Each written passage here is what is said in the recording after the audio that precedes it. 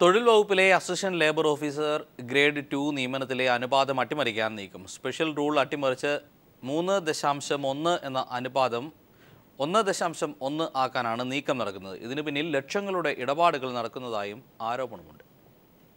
തൊണ്ണൂറ്റിയൊന്നിലെ special rule പ്രകാരം മൂന്ന് U D ക്ലർക്കുമാർക്ക് അസിസ്റ്റന്റ് ലേബർ ഓഫീസർ ഗ്രേഡ് രണ്ടിലേക്ക് സ്ഥാനക്കയറ്റം നൽകുമ്പോൾ ഒരാളെ പി എസ് സി വഴി നേരിട്ട് നിയമിക്കണമെന്നാണ് ചട്ടം. നൂറ്റിരണ്ട് ലേബർ ഓഫീസർ തസ്തികയാണ് നിലവിലുള്ളത്. ഇതനുസരിച്ച് എഴുപത്തിയഞ്ചു പേർക്ക് സ്ഥാനക്കയറ്റം നൽകുമ്പോൾ ഇരുപത്തിയഞ്ചു പേരെ നേരിട്ട് നിയമിക്കണം. രണ്ടായിരത്തി പതിനാല് ഓഗസ്റ്റിൽ നിലവിൽ വന്ന റാങ്ക് ലിസ്റ്റിൽ നിന്ന് ഇരുപത്തിയഞ്ചു പേരെ നേരിട്ട് നിയമിക്കുകയും ചെയ്തു. രണ്ടായിരത്തി പതിനാല് രണ്ടായിരത്തി പതിനഞ്ച് വർഷങ്ങളിൽ പ്രൊമോഷനു വേണ്ടി സീനിയർ ക്ലർക്കുമാരിൽ നിന്ന് ഓപ്ഷൻ ചോദിച്ചിരുന്നു. വകുപ്പ് തല പരീക്ഷ പാസ്സാകലും സീനിയോറിറ്റിയുമാണ് അപേക്ഷിക്കാനുള്ള മാനദണ്ഡം. എന്നാൽ നിയമനാനുപാതം മൂന്ന് ഈസ്റ്റു ഒന്ന് എന്നത് ഒന്ന് ഈസ്റ്റു ഒന്നാക്കി ഇരുപത്തിയഞ്ചു പേരെ കൂടി റാങ്ക് ലിസ്റ്റിൽ നിന്ന് തിരികെ കയറ്റാനാണ് തൊഴിൽ വകുപ്പിൽ തിരക്കിട്ട നീക്കം നടക്കുന്നത്. ഫലത്തിൽ ഇരുപത് വർഷം വരെ സർവീസ് ഉള്ളവർക്ക് സ്ഥാനക്കയറ്റം ലഭിക്കാത്ത സാഹചര്യമാണ് ഉണ്ടാവുക.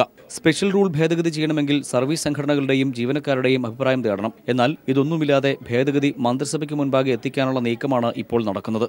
അനുപാതം മാറ്റാനുള്ള നോട്ടിഫിക്കേഷൻ തൊഴിൽ വകുപ്പ് പ്രിൻസിപ്പൽ സെക്രട്ടറി ടോം ജോസ് പുറത്തിറക്കുകയും ചെയ്തു. റാങ്ക് ലിസ്റ്റിൽ മുൻനിരയിലുള്ളവരുടെ പിടിപാടും ലക്ഷങ്ങളുടെ കോഴയുമാണ് നിയമനാനുപാതം അട്ടിമറിക്കുന്നതിന് പിന്നിലെന്ന് ചൂണ്ടിക്കാണിക്കപ്പെടുന്നു. News bureau Thiruvananthapuram. M G സർവകലാശാലയിൽ രഹസ്യമായി ബിരുദ കോഴ്സുകളുടെ സിലബസുകൾ പരിഷ്കരിക്കാൻ നീക്കം നടക്കുന്നു. ഒരു ചർച്ചയുമില്ലാതെ ആരും അറിയാതെ നടത്തുന്ന സിലബസ് പരിഷ്കരണത്തിനെതിരെ പ്രതിഷേധവും ആശങ്കയും ഉയർത്തി അധ്യാപകർ തന്നെ രംഗത്തെത്തിയിരിക്കുകയാണ്. രാജ്യത്തെ വിവിധ സർവകലാശാലകളുടെ സിലബസ് ചർച്ച ചെയ്തും വിദഗ്ധരെ പങ്കെടുപ്പിച്ച് ശില്പശാല നടത്തിയും പുതിയ കാലഘട്ടത്തിലെ ഉപവിഷയങ്ങൾ ഉൾപ്പെടുത്തിയുമൊക്കെയാണ് കാലങ്ങളായി എം ജി സർവകലാശാലയിൽ സിലബസ് പരിഷ്കരിച്ചിരുന്നത്.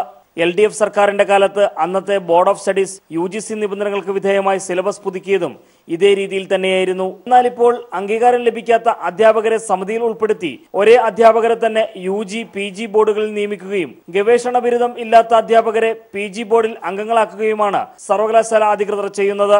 അതത് വിഷയങ്ങളിൽ പ്രാവീണ്യം തെളിയിച്ച അധ്യാപകരുമായി ചർച്ച നടത്താതെ ഏകപക്ഷീയമായി വിഷയങ്ങൾ തീരുമാനിക്കാനുള്ള സർവകലാശാല അധികൃതരുടെ തീരുമാനം വിദ്യാർത്ഥികളുടെ ഭാവിയെ തന്നെ അപകടപ്പെടുത്തുമെന്ന ആശങ്കയാണ് അധ്യാപകർക്കുള്ളത്.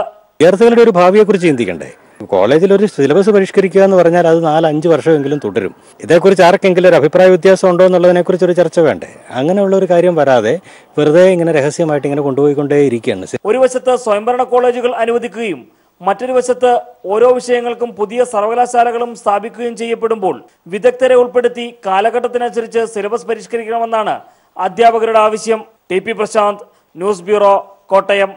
ആഗോള താപനത്തെ ചെറുത്തില്ലെങ്കിൽ രണ്ടായിരത്തി അൻപതോടെ ലോകത്ത് ഇരുപത്തിയഞ്ച് കോടി പരിസ്ഥിതി അഭയാർത്ഥികൾ ഉണ്ടാകുമെന്ന് യു എൻ റിപ്പോർട്ട്. ഏഷ്യയിലും ആഫ്രിക്കയിലുമാണ് ഏറ്റവും കൂടുതൽ അഭയാർത്ഥികൾ ഉണ്ടാവുകയെന്നും റിപ്പോർട്ട് മുന്നറിയിപ്പ് നൽകുന്നു.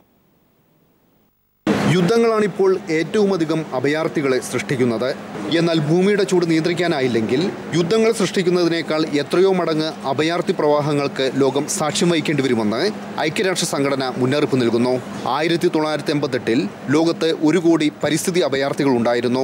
തൊണ്ണൂറുകളുടെ അവസാനത്തോടെ ഇവരുടെ എണ്ണം രണ്ടര കോടിയായും രണ്ടായിരത്തി പതിമൂന്നിൽ അഞ്ചു കോടിയായും ഉയർന്നു. കാലാവസ്ഥാ വ്യതിയാനം ഇപ്പോഴത്തേതുപോലെ തുടർന്നാൽ രണ്ടായിരത്തി അമ്പതോടെ കൊടും വരൾച്ചയും പ്രളയവും താങ്ങാനാവാതെ ഇരുപത്തഞ്ച് കോടി അഭയാർത്ഥികൾ ലോകത്തുണ്ടാവുമെന്ന് യു എൻ മുന്നറിയിപ്പ് നൽകുന്നു Uh, the, the issues associated with would be the loss of uh, social and cultural rights, uh, the, a lot of cultural diversity would be lost, and, and uh, issues of global governance of, of how to deal with uh, climate refugees, who would be responsible for you know, taking them in or providing them livelihoods and ensuring that, that they have a decent, dignified and respected life, uh, uh, unlike the other sort of uh, refugees. ആഗോള താമരത്തിന്റെ കെടുതുകളുമായി മല്ലിടുന്ന Asian African രാജ്യങ്ങൾ തന്നെയായിരിക്കും അഭയാർത്ഥി പ്രവാഹത്തിന്റെയും പ്രഭവ കേന്ദ്രങ്ങളെന്നും U N മുന്നറിയിപ്പ് നൽകുന്നു പശ്ചിമേഷ്യയിലെ സംഘർഷങ്ങളെ തുടർന്ന് വലിയ രീതിയിലുള്ള അഭയാർത്ഥി പ്രവാഹങ്ങൾക്ക് യൂറോപ്പ് ഇപ്പോൾ സാക്ഷ്യം വഹിക്കുകയാണ് കാലാവസ്ഥാ വ്യതിയാനത്തെ തുടർന്ന് കൂടുതൽ കുടിയേറ്റങ്ങൾ ഉണ്ടാവുമോ എന്നാണ് യൂറോപ്യൻ രാജ്യങ്ങളുടെ ആശങ്ക. കാലാവസ്ഥാ വ്യതിയാനം മൂലമുണ്ടാകുന്ന കുടിയേറ്റങ്ങൾ ഏതു വിധേനയും തടയണമെന്ന് ഇവിടുത്തെ ഉച്ചകോടിയിൽ ഏറ്റവും ഉച്ചത്തിൽ ആവശ്യപ്പെടുന്നതും യൂറോപ്യൻ രാജ്യങ്ങളാണ്. പാരീസിൽ നിന്ന് പീപ്പിൾ ടിവിക്ക് വേണ്ടി കെ രാജേന്ദ്രൻ. മുല്ലപ്പെരിയാർ അണക്കെട്ടിന്റെ ഷട്ടറുകൾ തമിഴ്നാട് തുറന്നത് മാനദണ്ഡങ്ങൾ ലംഘിച്ച് പന്ത്രണ്ട് മണിക്കൂർ മുമ്പ് മുന്നറിയിപ്പ് നൽകണമെന്ന ഇടുക്കി ജില്ലാ കളക്ടറുടെ നിർദ്ദേശം തള്ളിയാണ് തമിഴ്നാട് ഷട്ടറുകൾ തുറന്നത്.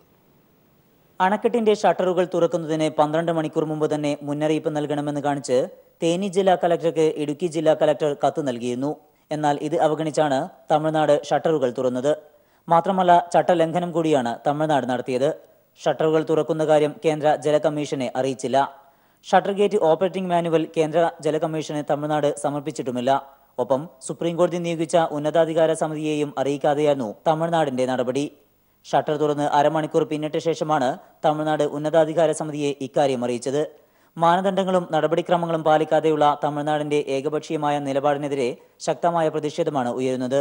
നൂറുകണക്കിന് മനുഷ്യജീവന് ഒരു വിലയും കൽപ്പിക്കാത്ത നടപടിക്കെതിരെ കേരള സർക്കാർ സുപ്രീം കോടതിയെ സമീപിക്കണമെന്ന് മുല്ലപ്പെരിയാർ സമരസമിതി ആവശ്യപ്പെട്ടു.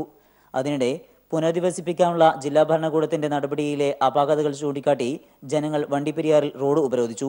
സ്ഥിതിഗതികൾ വിലയിരുത്താൻ ഉന്നത ഉദ്യോഗസ്ഥർ എത്തുന്നില്ല എന്നാരോപിച്ചായിരുന്നു റോഡ് ഉപരോധം. News bureau Idukki. ആസിഡ് ആക്രമണങ്ങൾക്ക് ഇരയാകുന്നവർക്ക് പ്രത്യേക സംവരണം ഏർപ്പെടുത്താൻ തീരുമാനം. ഇവർക്ക് സർക്കാർ ജോലികളിൽ സംവരണം ഏർപ്പെടുത്തണമെന്ന് സുപ്രീം കോടതി നിർദ്ദേശിച്ചു. ആസിഡ് ആക്രമണങ്ങൾക്ക് ഇരയാകുന്നവർക്ക് സർക്കാർ ജോലികളിൽ സംവരണം ഏർപ്പെടുത്തണമെന്ന നിർദ്ദേശമാണ് സുപ്രീം കോടതി നൽകിയത്. മൂന്നാം ലിംഗക്കാർക്ക് നൽകുന്ന സംവരണങ്ങൾ ഇവർക്കും നൽകാനാണ് തീരുമാനം. ഇത് സംബന്ധിച്ച നിർദ്ദേശങ്ങൾ കോടതി കേന്ദ്ര സർക്കാരിന് കൈമാറി. ആസിഡ് ആക്രമണങ്ങൾക്ക് ഇരയാകുന്നവർക്ക് സൗജന്യ ചികിത്സ നൽകണമെന്ന് സുപ്രീംകോടതി നേരത്തെ നിർദ്ദേശിച്ചിരുന്നു. ഇവരുടെ പൂർണ ഉത്തരവാദിത്വം സർക്കാർ ഏറ്റെടുക്കണമെന്നാണ് കോടതിയുടെ പക്ഷം. ജസ്റ്റിസ് എം വൈ ഇഖ്ബാൽ അധ്യക്ഷനായ ബെഞ്ചാണ് ഇതിൽ വിധി പറഞ്ഞത്. ആസിഡ് ആക്രമണങ്ങൾക്ക് ഇരയാകുന്നവർ വീട്ടിൽ ഒതുങ്ങിപ്പോവുകയും പൊതുസമൂഹത്തിൽ അപമാനിക്കപ്പെടുകയും ചെയ്യുന്ന അവസ്ഥയാണ് കണ്ടുവരുന്നത്. ഇവരെ മുഖ്യധാരയിൽ എത്തിക്കുകയാണ് വേണ്ടതെന്ന് കോടതി വ്യക്തമാക്കി. മൂന്നാം ലിംഗക്കാരുടെ കൂട്ടത്തിൽ ഉൾപ്പെടുത്തി സംവരണം നൽകുന്നതോടെ ഇവരെ പുനരധിവസിപ്പിക്കുന്നതിനും മുഖ്യധാരയിൽ എത്തിക്കുന്നതിനും സഹായകരമാകുമെന്ന് കോടതി വിലയിരുത്തി. ഇവർക്ക് സൗജന്യ ചികിത്സ നൽകുന്നതിന്റെ ഭാഗമായി രാജ്യത്തെ എല്ലാ സർക്കാർ ആശുപത്രികളിലും നിർദ്ദേശം നൽകണമെന്നും കോടതി ഉത്തരവിട്ടു. News desk.